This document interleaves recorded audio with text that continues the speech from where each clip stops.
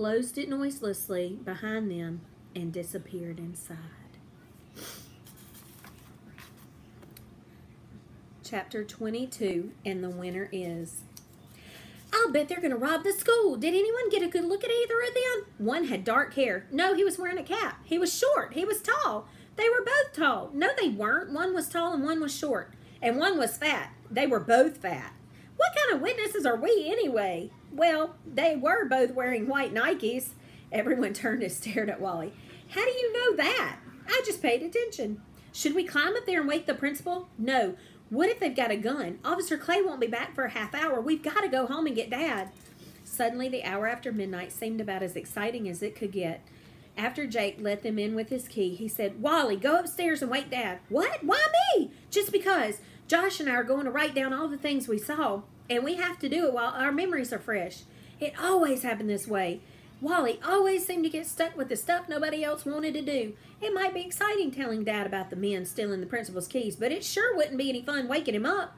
Their father was a deep sleeper, and if anything else except a police beeper woke him up, he was liable to be grouchy. Wally went up the stairs, stepping extra hard on the second from the bottom step, which always made the loudest squeak, hoping that might wake his dad. His parents' door was closed, and he tapped lightly once, then twice, and nothing happened. The bed squeaked like someone turning over. Who is it? Mother asked. It's Wally. Can I come in? What's the matter, Wally? The Malloy girls are downstairs. Caroline saw something. We all did. What do you mean Caroline saw something? You know the imagination that girl has. Wally, it's almost two in the morning. We saw some men go in the school. Was that? It's Wally, dear. All the kids are downstairs and they think they saw something. So how do you know they weren't teachers? I don't, but they sneaked up on the roof after Officer Clay left and took the keys from the principal's pants. We watched them. Then they took the keys and went inside the school. Where are they now?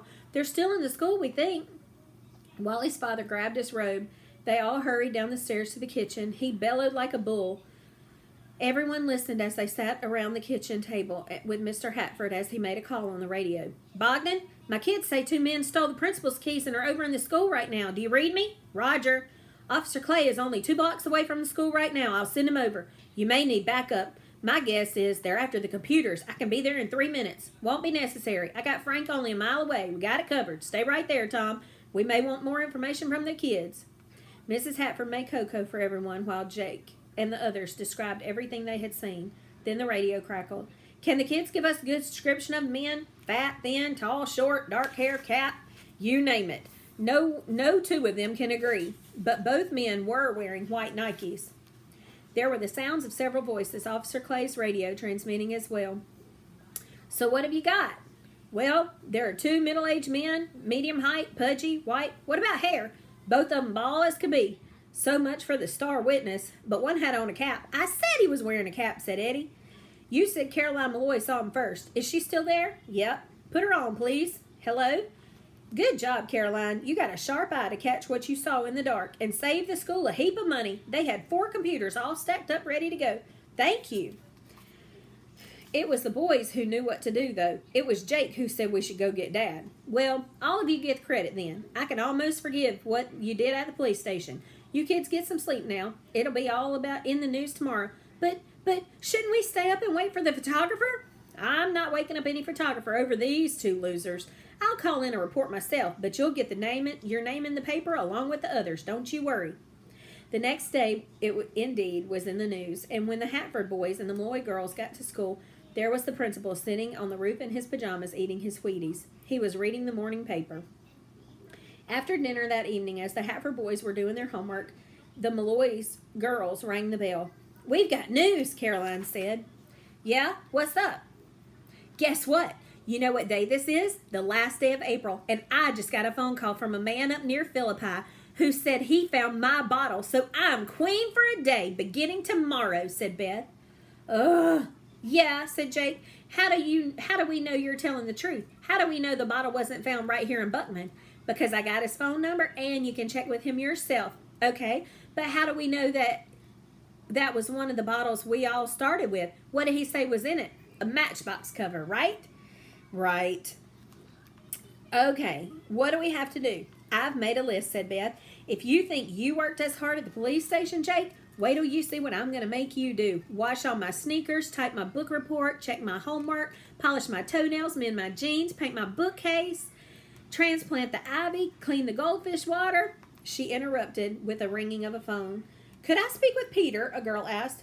Peter, for you, a girl. Oh, Peter? Hello? Yeah? What? Yeah? It's a girl. She found my bottle. She was walking her dog. Where? Where?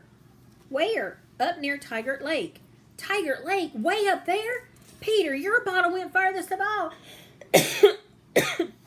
You're king for a day. Hello? Caroline grabbed the phone. Hello? Can you tell me what else was in the bottle? Oh, yeah, it's a button, all right. A Girl Scout button, thanks.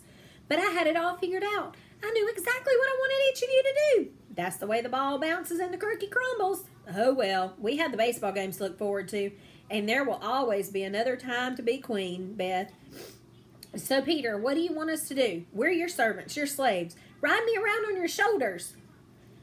As Jake moved slowly around the room, Peter slouched. Bake me a double batch of cookies, Eddie. Bake me a giant batch of, brownies. Peter, you're going to get sick. Make me a great big pan of chocolate marshmallow fudge. What about us? What do we have to do? For a whole day, you have to take me everywhere you go and let me do whatever you do. Easy. You have to let me read all your comic books and play all your computer games. It's a deal. I get to borrow your skateboards and your felt tip pens and your baseball cards and your binoculars. Is that all? I get all your leftover Halloween candy. So, and one more thing, you've got to clean out my closet. No! cried Jake and Josh and Wally together. A deal's a deal, said Eddie. Peter is king for a day. That's the way the ball bounces. That's the way the cookie crumbles, said Caroline. All right. Make sure you take your quiz on the Girls Take Over.